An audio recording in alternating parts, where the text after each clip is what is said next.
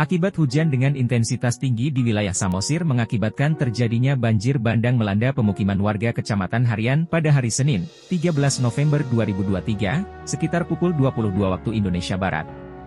Hujan deras melanda Samosir ini terjadi mulai dari sore hingga malam hari menyebabkan sungai-sungai yang ada tidak dapat menampung air, hingga terjadilah banjir bandang.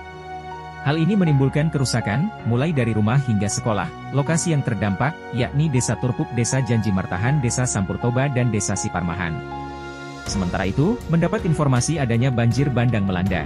Kapolres Samosir AKBP Yogi Hardiman langsung memerintahkan jajarannya untuk segera membantu dan mengevakuasi warga. Terdapat 120 orang yang terdampak banjir bandang dievakuasi ke tempat yang aman.